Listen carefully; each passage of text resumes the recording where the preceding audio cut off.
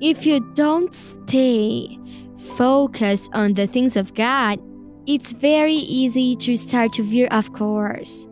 You begin with small deviations, not big ones. You begin with the small. Suddenly, things start happening that you were ready.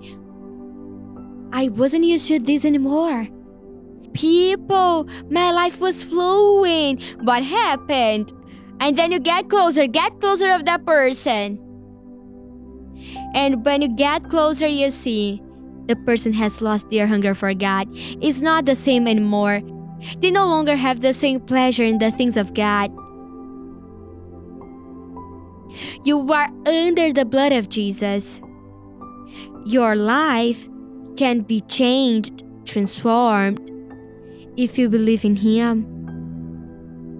By drawing closer to Jesus, you have your life restored. He removes shame. You go to a safe and protected place. This is what He wants you to understand.